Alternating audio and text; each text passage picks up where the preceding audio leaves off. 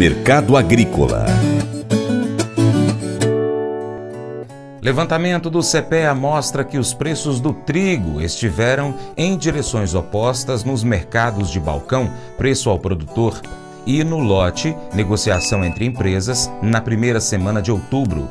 Enquanto os valores ao produtor foram influenciados por expectativa de colheita recorde, os entre empresas apresentaram leves altas devido às chuvas que limitaram os trabalhos de campo em algumas regiões, segundo o CPEA. Quanto à colheita, mesmo com as precipitações em muitas regiões produtoras, no geral as atividades estão avançando. As expectativas ainda são de produção recorde no país. A Conab indicou produção nacional na safra 2022-23 em 9,35 milhões de toneladas, a baixa de apenas 0,1% em comparação aos dados de setembro 22, mas 21,9% acima da de 2021-22 e um recorde. Flamir Brandalize disse que a guerra na Ucrânia diminui a oferta de trigo daquele país a safra brasileira, além de maior área plantada, alta produtividade e alta qualidade, é beneficiada com a valorização do cereal no mercado internacional.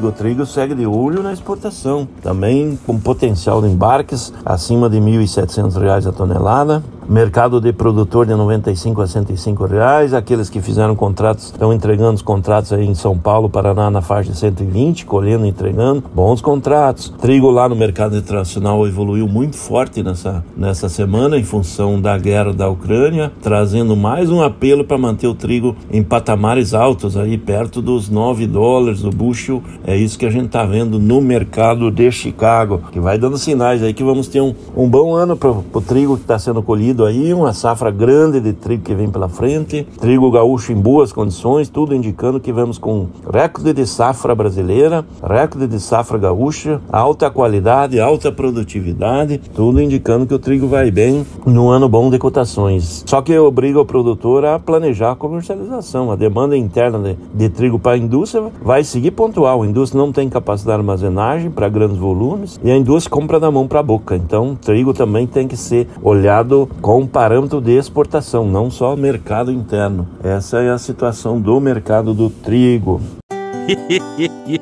Mas eu vou dizer uma coisa pra você, viu? É, se quiser colocar propaganda sua aqui nesse programa, ó, eu vou dizer um negócio, você vai ter um resultado bom demais, senhor. É isso mesmo, é facinho, facinho, senhor. Você pode entrar em contato com os meninos ligando o telefone deles, é o 38, é o 991810123, bem fácil. É muito bom porque aí a sua empresa vai sair dentro de um programa que é ligado aí ao homem para mulher do campo. É nós que vai estar tá assistindo e também vai ver sua propaganda. É bom ou não é, só?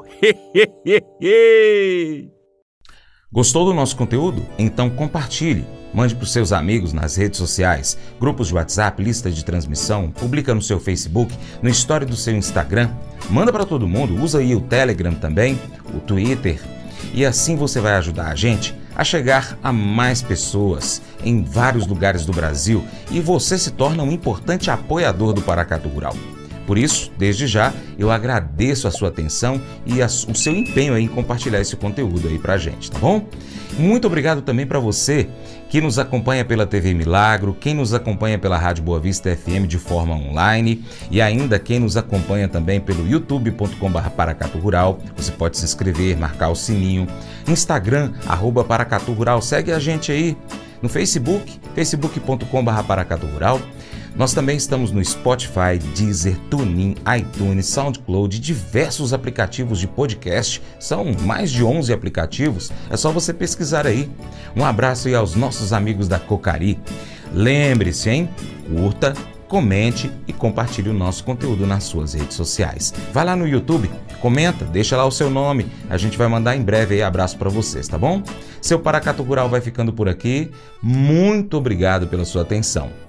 Você planta e cuida, Deus dará o crescimento. Para minha esposa Paula, beijo, te amo, Paula.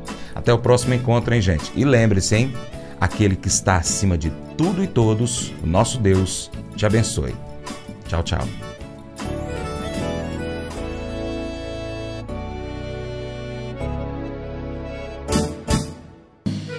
Acordo de manhã para prosear no mundo do campo, as notícias escutar. Vem com a gente em toda a região com o seu programa Paracatu Rural. Tem notícias, informação e o mais importante, sua participação. Programa Paracatu Rural.